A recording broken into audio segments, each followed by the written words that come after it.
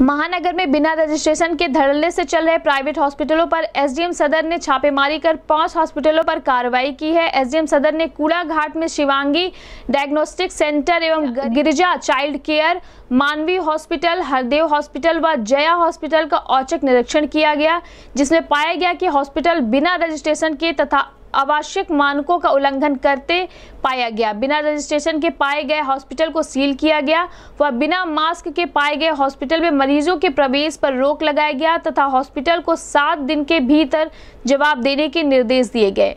इस संबंध में गोरखपुर न्यूज़ से बात करते हुए एसडीएम सदर गौरव सिंह सोगरवाल ने कहा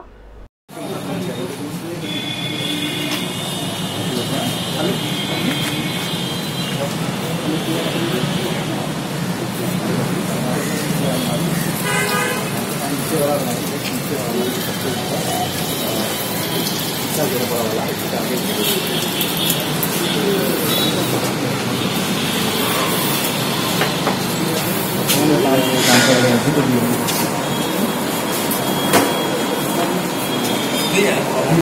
किराया कौन रहता है हैं हैं।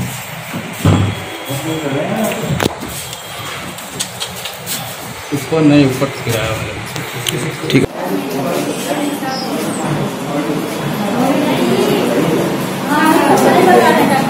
उसका उसमें आप चेक करें क्या है नाली खाली सीना सीना में दर्द रहता है साफ़ नाली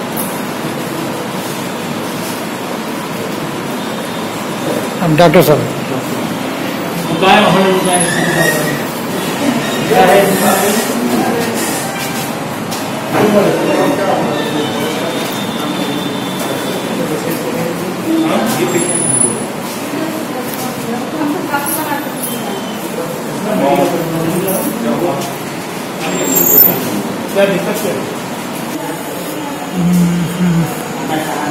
ऑपरेशन हुआ क्या इन लोगों का?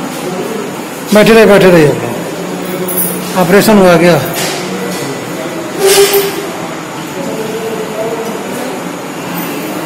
रहा था कितने कलेक्शन कैसे हो गए वहाँ? पहले का है। पहले के समय डेली साफ़ नहीं कराते?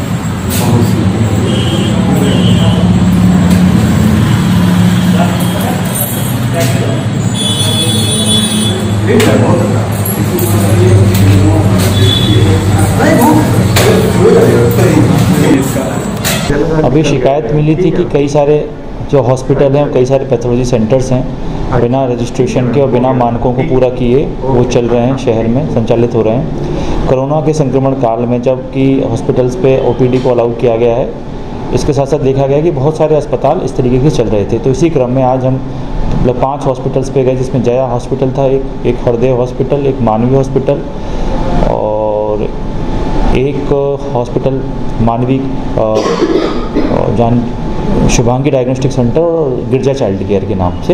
चलो पाँच पे हम गए तो इसमें तीन जो हॉस्पिटल्स थे, वो बगैर रजिस्ट्रेशन के, बगैर पंजीकरण के संचालित थे और जो मानकों का पूरा भी नहीं कर रहे थे।